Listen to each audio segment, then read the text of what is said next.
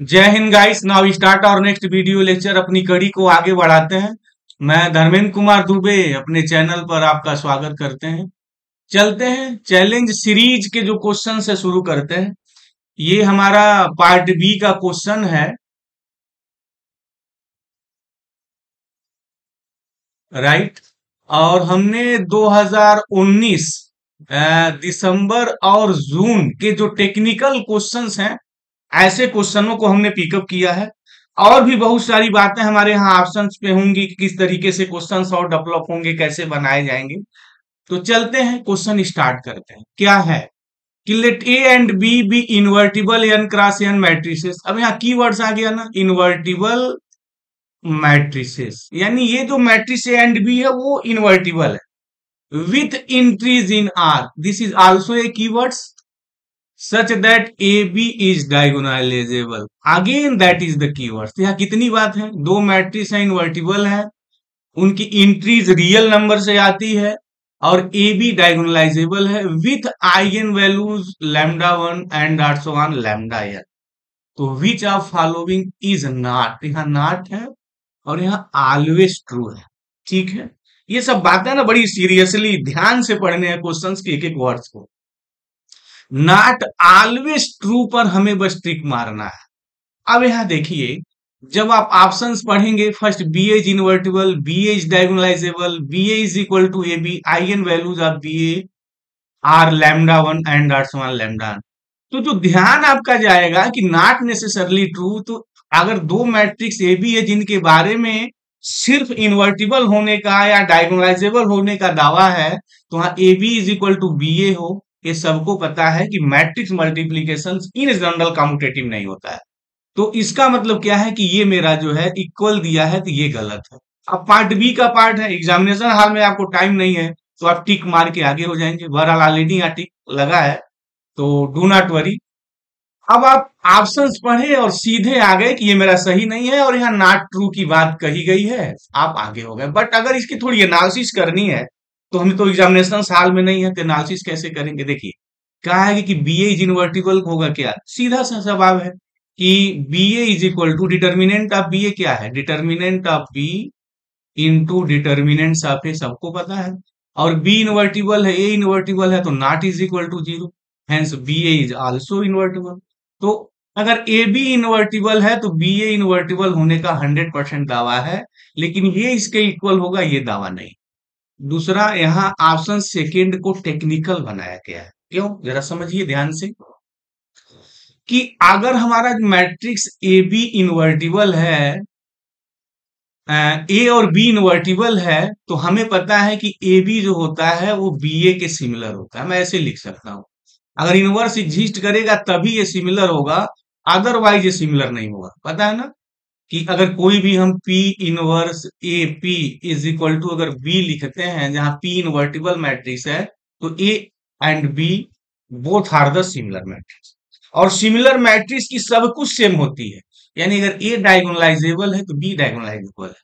अब नेट वाले ने ये नहीं पूछा आपसे कि A B is similar to B A नहीं, उसने डायगोनलाइजेबल की बात पूछी है। अब यहाँ देखिए अगर ए बी डायगोनलाइजेबल है तो बी ए नेचुरल सी बात डायगोनलाइजेबल हो जाएगी। क्यों? क्योंकि A B similar to B A तो दो मैट्रिक्स अगर सिमिलर है तो उनका सब कुछ सेम होता है। अगर एक मैट्रिक्स डायगोनलाइजेबल है तो दूसरा मैट्रिक्स भी डायगोनलाइजेबल हो जाएगा। तो ये बात भी मेरी तय है।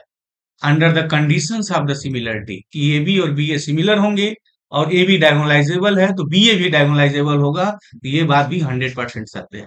लेकिन ये हंड्रेड परसेंट सत्य नहीं नेचुरली ट्रू नहीं है, इसलिए पूछे यहाँ ऑलवेज ट्रू अच्छा आइगन वैल्यूज़ बी ए ये होगा क्या? एस कि ए बी की जो आइगन वैल्यूज़ होती है, वही आइगन वैल्यूज़ हमारी बी ए की भी होगी। अगर हमारे matrix both A and B are square matrix हैं, लेकिन अगर रेक्टेंगुलर मैट्रिक्स हैं तो हम ये दावा नहीं कर सकते हैं। वहाँ एक ज़ीरो का भी कंसेप्ट आता है। बहरहाल जब ऐसे क्वेश्चन आएँगे तो वहाँ बातें होंगी। तो eigen values of A B and B A both are the same तो ये तो भी बात हंड्रेड परसेंट सही है राइट तो इस क्वेश्चन के पीछे हमारी जो लॉजिक थी ना, बस यही था कि हम क्वेश्चंस के अगर ऑप्शंस को ध्यान से पढ़ते हैं तो पढ़ते ही मुझे एक आइडिया मिल जाएगी कौन सही है कौन गलत है।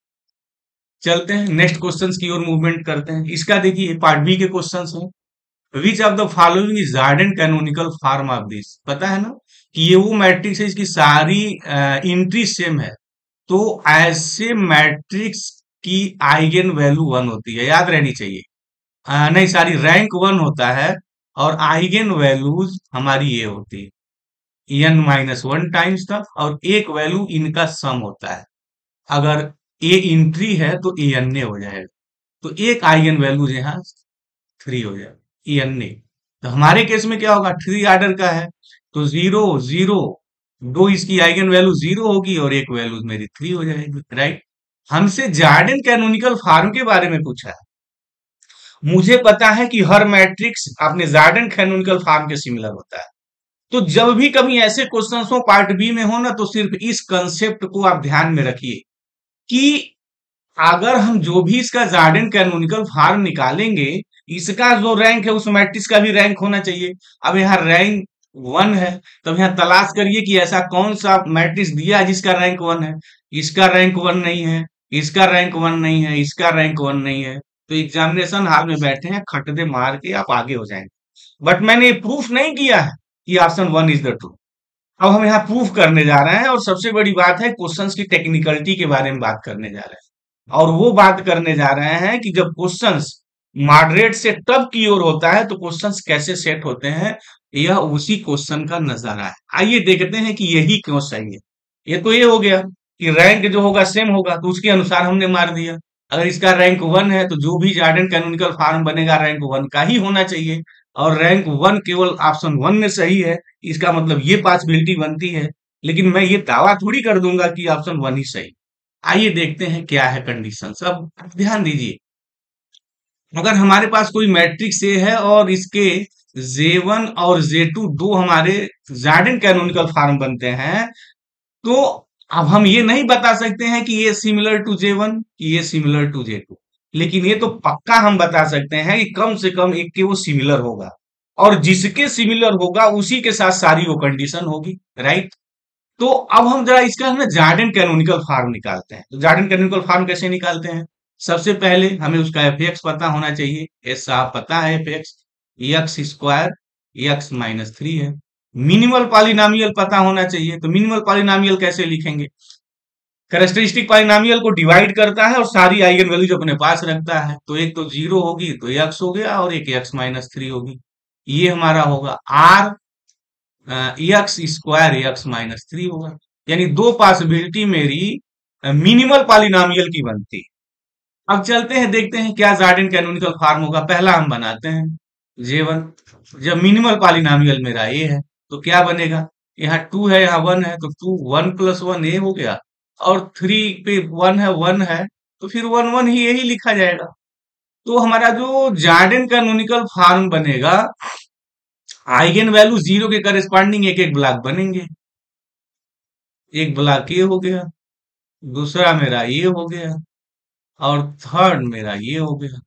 एक ये हो गया जार्डन कैनोनिकल फॉर्म और दूसरा हमारा जार्डन कैनोनिकल फॉर्म क्या होगा? जब मिनिमल पॉलिनामियल ये होगा, अगर एक्स स्क्वायर है तो फिर क्या होगा? यहाँ भी स्क्वायर है तो इसकी मीनिंग क्या होगी? कि जो हमारा जार्डन कैनोनिकल फार्म का जो एक ब्लॉक बनेगा आइगन वैल्यू ज़ीरो के करस्पॉन्डिंग वो टू ऑर्डर का होगा। तो टू ऑर्डर कैसे बनता है? ज़ीरो हो गया one zero zero zero zero ये ब्लॉक मेरा बन गया टू ऑर्डर का। और एक तो थ्री एज इट इज़ रहेगा। ओके बात समझ में आ गई? यानी ए के इस मैट्रिक्स के जो जार्डन कैनोनिकल फॉर्म बने, वो जे वन बना और जे टू बना। अब अपने आप ऑप्शन पे आ जाइए। हमने पूरे क्वेश्चंस को प्रूफ ही कर दिया है। अब आप जब ऑप्शन पे आते हैं तो क्या होता है? तो इसमें देखिए। अब यहाँ अगर आप देखते हैं तो जो टू जो ऑप्शन दिया है ना, वो इसके करस्पॉन्डिंग दिया है। लेकिन क्या होगा कि ए सिमिलर जो है ना, इसके नहीं होगा। और सिमिलरिटी कैसे प्रूफ करते हैं? पता है ना? सिमिलरिटी प्रूफ करने का एक तरीका है। कि इस मैट्रिक्स का Jordan canonical form J one या जे टू इसमें से कौन सिमिलर होगा, वो ये बात प्रूफ करता है कि जीएम ऑफ़ ज़ीरो यहाँ जो है, वो GM of zero J one or GM of J two zero ये जिसके इक्वल होगा और जीएम ऑफ़ थ्री और जीएम ऑफ़ थ्री और यहाँ वही जे वन और GM of three J two मतलब क्या हो गया? कि इस मैट्रिक्स की जो आइगन वैल्यूज़ है, उसकी जियोमेट्रिक मल्टीप्लिसिटी, जिस कैनोनिकल फार्म के इक्वल आएगी, वही सिमिलर होगा। तो देखिए अगर हम निकालते हैं, इसका हम यहाँ निकालने नहीं जाएँगे, टाइम नहीं किल करेंगे, आप इजी वे में निकाल सकते हैं। अगर मैं इस मैट्रिक्स की ज़ीरो के करस्पॉन्डिंग अगर आइगन वेक्टर्स निकालना चाहेंगे तो क्या आएगा भाई?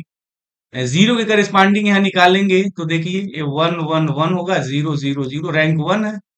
ठीक, अब मैंने यहाँ एक्स वाई जेड लिखा तो रैंक वन है थ्री वेरिएबल्स हैं तो कितने इंडिपेंडेंट वेरिएबल्स होंगे?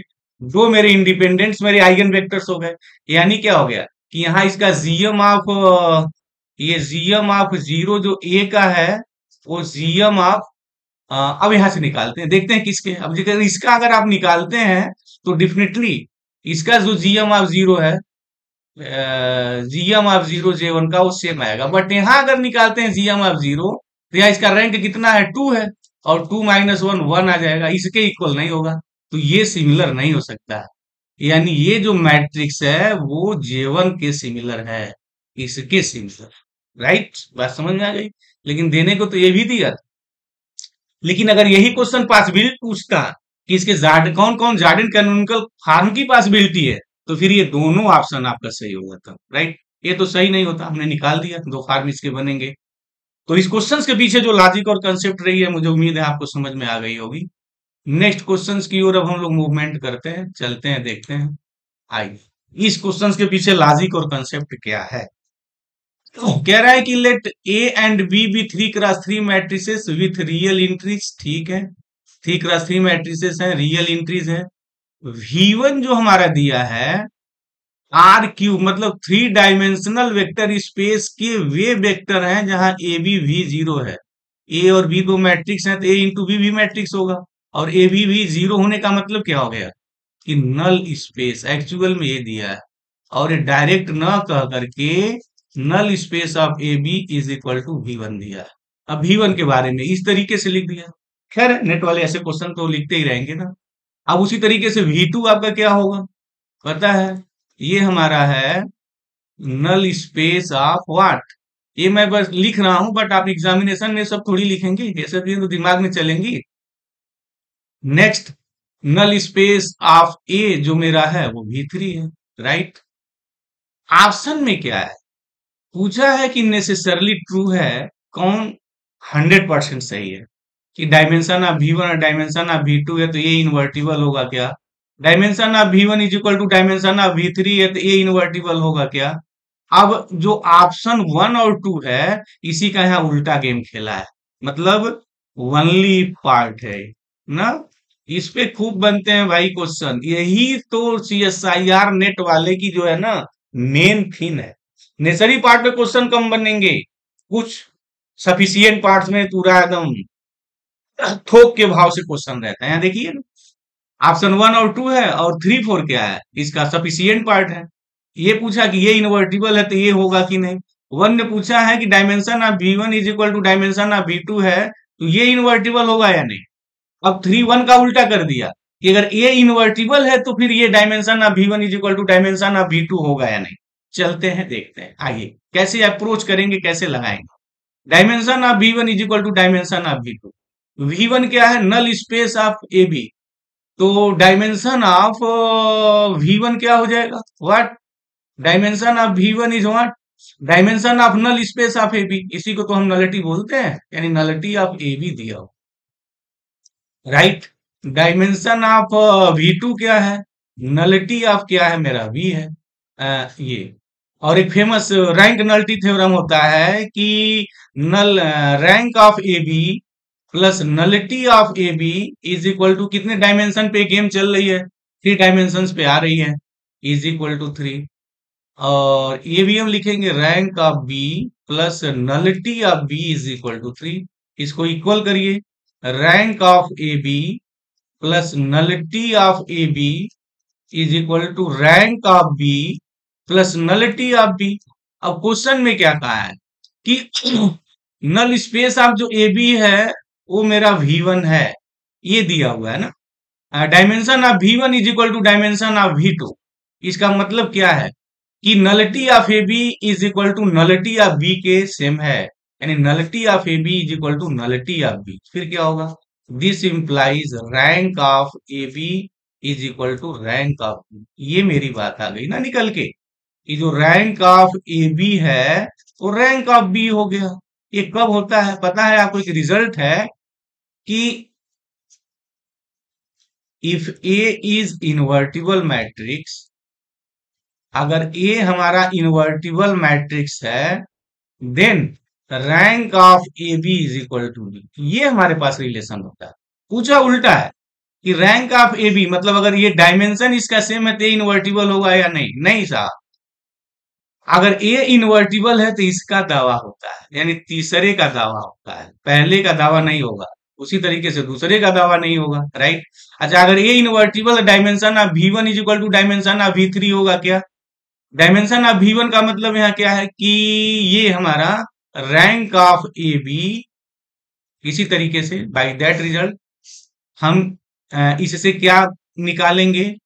Dimension of V one is equal to dimension of V three से rank of A B is equal to rank of A ये तब होता है जब मैट्रिक्स बी इन्वर्टिबल होता है।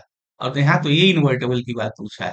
अगर यही यहाँ लिखता कि अगर B is invertible then definitely ये बात मेरी सही होगी। लेकिन ये तो लिखा नहीं तो option three is the right तो इस क्वेश्चन के पीछे जो लॉजिक और कंसेप्ट रही है, बात आपको समझ में आ गई होगी। अगर कोई डाउट है कमेंट बॉक्स में जाइए, आप कमेंट करिए, हम स्वागत करते हैं।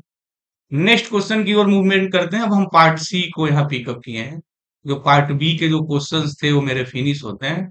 पार्ट सी में आते हैं। देखते हैं इस क्वेश्चन के पीछे लॉजिक और कंसेप्ट क्या है। Let A B three cross three matrix over C अब यहाँ की वर्ड्स है, ध्यान दीजिएगा। लेट ओमेगा बी ठीक है। Cube roots of unity which of the following are true के बारे में पूछा है। कि अगर ए क्यूब आइडेंटिटी है तो then eigen values of A are one omega omega square होगा क्या? ये हम दावा कर सकते हैं। इफ़ ए क्यूब आइडेंटिटी है then every eigen values of A is in the set इसका दावा कर सकते हैं क्या? If the eigen values of A are मतलब अब क्वेश्चन नंबर सेकेंड का ए इफ़ है तो ये वनली इफ़ है। देख रहे हैं ना? अभी हम कैसे इसके पहले क्वेश्चन की बात कर रहे थे इसी एस आई आर नेट वाले इसी पर क्वेश्चन बनाएँगे और इस साल भी इसी पर क्वेश्चन बनेगा, भरमार होगी। अगर ये पार्ट आपको क्लियर है, तब तो फिर आपको क्रैक करने से अच्छे नंबर से कोई नहीं रोक सकता। Every eigen value of A is in the set then A cube identity होगी क्या? चलिए, आते हैं, देखते हैं। पहला क्या है कि ए क्यूब आइडेंटिटी दी हुई है। तो फिर क्या होगा? सबको पता है कि यहाँ से क्या लिखते हैं? एनिहेलेटिंग पॉलिनोमियल बन गएगा वो एक्स क्यूब माइनस वन होगा राइट मिनिमल पॉलिनोमियल कंडीशंस क्या होगी? कि एनिहेलेटिंग पॉलिनोमियल को डिवाइड करेगा। तो फैक्टर करिए। तो फैक्टर होगा इसका एक्स माइनस वन और X square plus X plus one ये हो गया। अगर हम इसके थोड़े फैक्टर करने की बात यहाँ करें क्योंकि यहाँ सी पर बात कही है तो हम ये जो है ना आ, लिख सकते हैं। यहाँ इसका फैक्टर करेंगे क्या आएगा? पता है ना, यक्स माइनस ओमेगा और यक्स माइनस ओमेगा स्क्वायर ये आता है, इसका फैक्टर चलिए बाहर आ ये इसका हमारा फैक्टर हो गया। तो मिनिमल पॉलिनोमियल क्या हो सकता है? राइट नहीं, ये तो एच ऑफ़ एक्स ठीक है? चलिए minimal polynomial what is the minimal polynomial minimal polynomial इनको डिवाइड करता है तो एक्स माइनस वन हो सकता है। Or X square plus X plus one हो सकता है। आर यक्स माइनस वन और X square plus X plus one हो सकता है। ये मिनिमल पॉलिनोमियल मेरे यही हो सकता है। अगर मिनिमल पॉलिनोमियल ये हुआ तो ए आइडेंटिटी हो जाएगी। अगर मिनिमल पॉलिनोमियल मेरा ये हुआ तो मैट्रिक्स जो होगा मेरा डायगोनलाइजेबल नहीं होगा ओवर आर और यहाँ से जो इसकी आइगन वैल्यू जाएगी ओमेगा और ओमेगा स्क्वायर आएगी। दोनों इसके हमारे कॉम्प्लेक्स रूट्स हो जाएँगे राइट अच्छा अगर ये आइगन वैल्यूज़ आ गई मिनिमम पालिनामियल तो इसकी eigen values one omega omega square हो गई, ये बात मेरी हो गई। तो चलिए, आइए देखते हैं क्या होगा। ए क्यूब आइडेंटिटी है then eigen values of A are ये हो सकता है। नहीं, साहब, कोई ज़रूरी नहीं है कि अगर हमारा मिनिमल पॉलिनोमियल ये हो गया तो उस केस में ए तो आइडेंटिटी हो जाएगा। और ये आइडेंटिटी हो जाएगा तो ए क्यूब तो आई आएगा। बट ए के आइडेंटिटी होने से सारी eigen values one one one हो जाएगी, ये तो होगा नहीं राइट कैंसिल हो गया ये दावा नहीं कर सकते हैं। सेकेंड में है कि A cube is equal to identity then every eigen values of A are is in the set ये हम दावा हंड्रेड परसेंट कर सकते हैं कि आइगन वैल्यूज़ मेरी क्या होगी? यहाँ से देखिए, जो मिनिमल पॉलिनोमियल जितने हैं, या तो वन की बात होगी ओमेगा की बात होगी ओमेगा स्क्वायर की बात होगी। यानी जो आइगन वैल्यूज़ आएगी वो इसी सेट से आएगी। और यही तो बात तो पूछ रहा है कि क्या आइगन वैल्यूज़ इसी सेट से आएगी क्या? एस हंड्रेड परसेंट हो गई बात। अब यहाँ इसको घुमा दिया है। If the eigen values of A are नहीं नहीं सर इस, ये पार्ट नहीं है। सेकेंड का वनली इफ़ है। सारी यहाँ ध्यान दीजिएगा। ये है, गलती से बात बोल दी गई। वनली इफ़ है। फोर जो है हमारा सेकेंड का वनली पार्ट यहाँ है। थर्ड तो स्टेट फॉरवर्ड है कि the eigen values of A are ये दिया हुआ है तो ये क्यूब आइडेंटिटी होगी क्या? तो सीधी सी बात हो गई ना, कि ये की आइगन वैल्यूज़ ये है थर्ड ऑर्डर का है तो फिर ये तीन ही होगा। तो हमारा कैरेक्टरिस्टिक पॉलिनोमियल क्या होगा? X minus one X minus omega और ये होगा। इसको अगर सॉल्व करेंगे तो ये आएगा।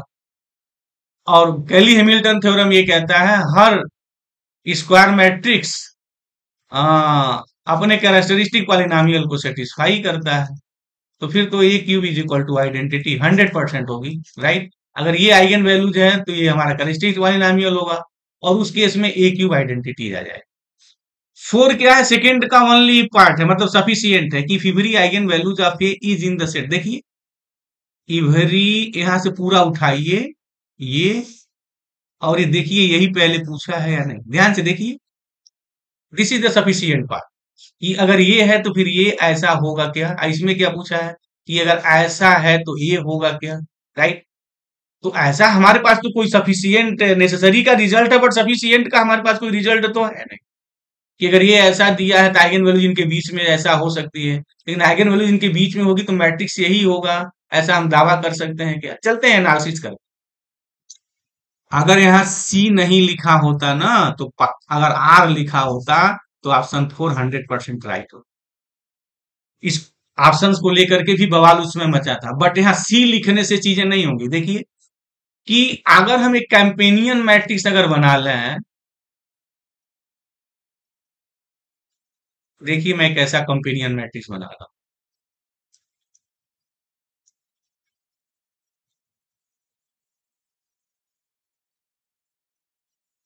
ये हो गया।